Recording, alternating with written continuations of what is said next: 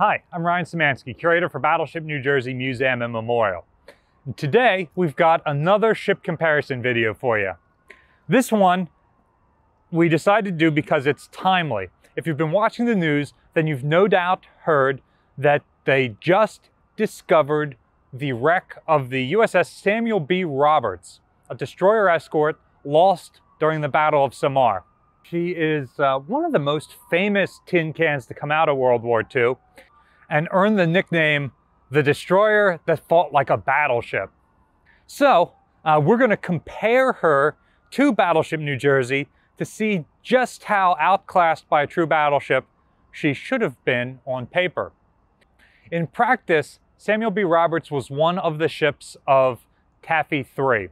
It was a force made up of six escort carriers, about 10,000 tons each, carrying about 30 aircraft to support the invasion of the Philippines, uh, which was escorted by three Fletcher-class destroyers and four even smaller destroyer escorts. On the morning of October 25th, the Japanese fleet, the center force under Admiral Kurita, led by the battleship Yamato, came over the horizon uh, off of the island of Samar near the Leyte invasion beaches.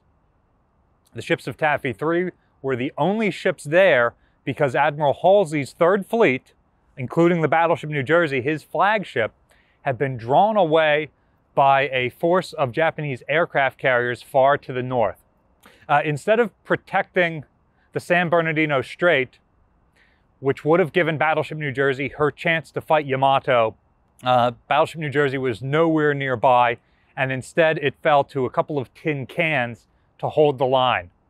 So, uh, Samuel B. Roberts destroyer escort, that's more or less the biggest and most advanced type of destroyer escort during World War II, which is not saying much at all. She only weighed 1,350 tons fully loaded, or just a little over half of the weight of a 16-inch gun turret on Battleship New Jersey. At 306 feet long, 36 feet wide, and only 9 foot deep, this ship is barely a third of the length, width, and draft of an Iowa-class battleship.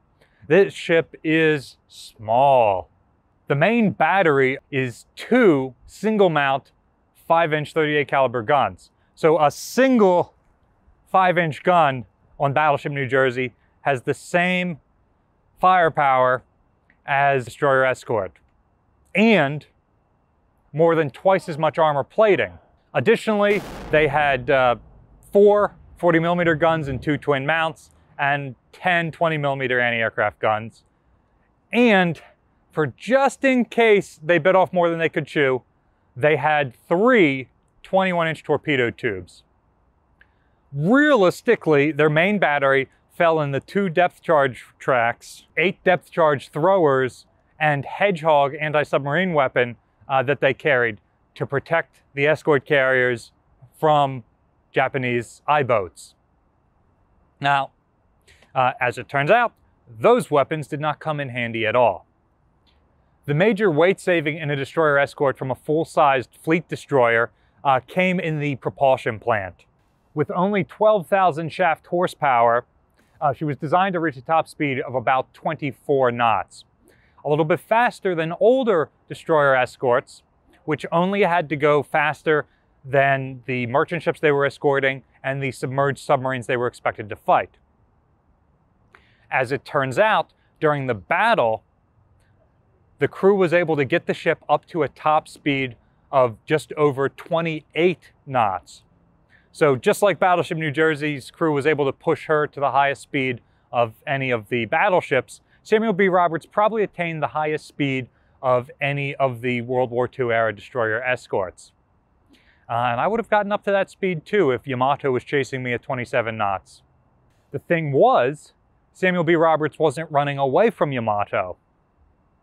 Admiral Sprague ordered all of the planes of Taffy 3 to attack the Japanese force with whatever weapons they had. They were mostly armed for shore bombardment. Uh, and he ordered the destroyers to charge in. Lieutenant Commander Bob Copeland, the commanding officer of Samuel B. Roberts, asked for clarification if that meant the full-size destroyers or all of the destroyers and destroyer escorts and was told uh, just the three full-size destroyers. And he charged in anyway, leaving three destroyer escorts to protect the carriers and joining the three destroyers that were attacking the Japanese fleet. So he then gets into a torpedo and gun fight. They launched torpedo and gunnery attacks on the Japanese 15,000 ton heavy cruiser Chokai uh, and land some torpedo and gun hits that lead to that ship sinking, among other damage uh, sustained from the other American units. They then transfer fire to the cruiser Chikuma and set the ship's bridge on fire. So in addition to holding off Japanese battleships, she's also doing significant damage to the Japanese cruiser force off San Bernardino Strait. After about 90 minutes of combat, she does take uh, enemy hits that cause damage, after about two hours, one of the Japanese battleships, Kongo, finally lands three 14-inch shells on one of the ship's engine rooms, opening up a hole 40 feet wide and 10 feet high.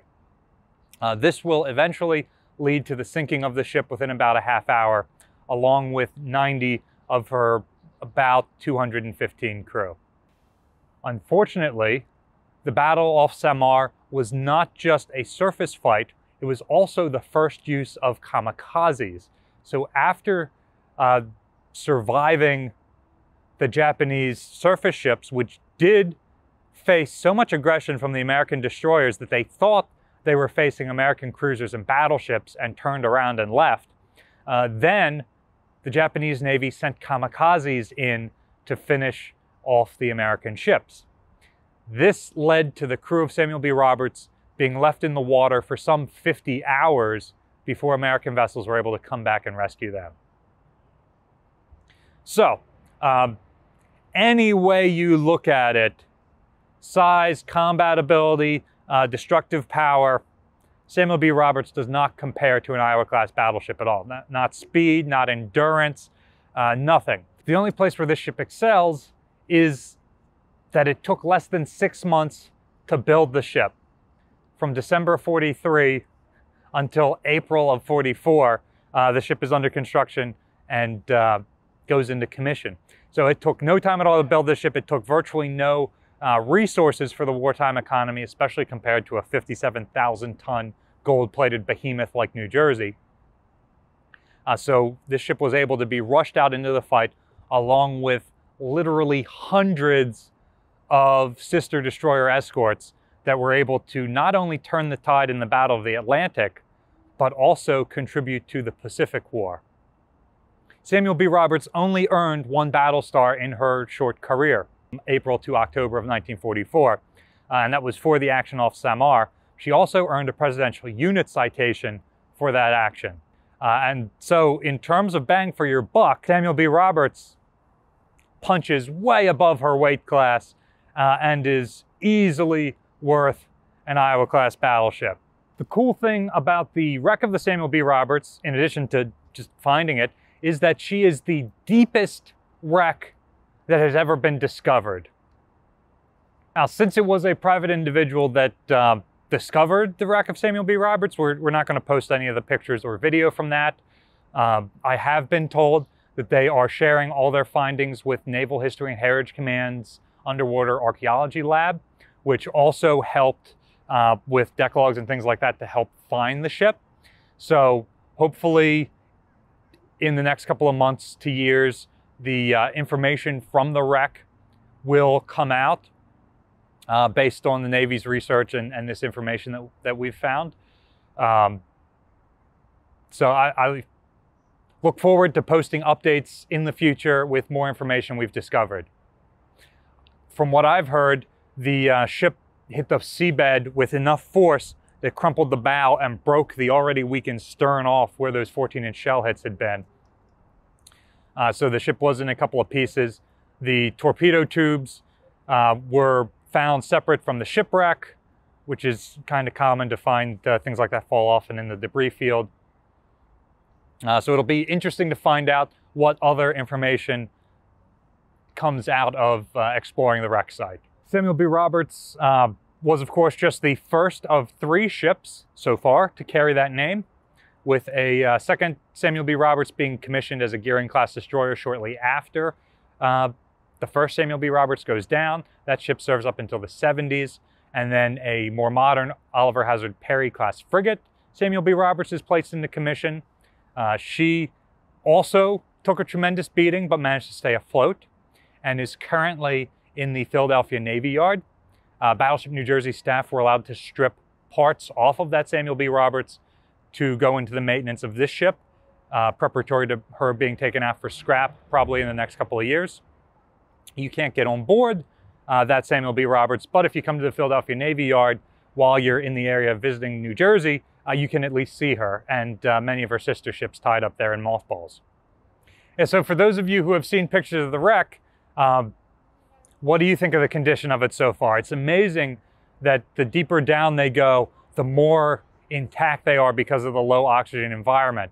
I grew up watching uh, documentaries on Titanic and Bismarck, and, and, on Titanic, you can just see the rusticles hanging off of that ship. Uh, whereas you look at ships that have been discovered more recently in deep water, like Indianapolis, Johnston, and uh, Samuel B. Roberts, and their paint coatings are absolutely intact. It's incredible the condition these ships are down there. Battleship New Jersey receives operating support from the New Jersey Department of State, also from a number of other businesses and private individuals like yourselves. We really appreciate the support you guys have given us. There's a link in the description below if you'd like to continue donating. You can also support the museum by liking, sharing, and subscribing so more people find out about us. Thanks for watching.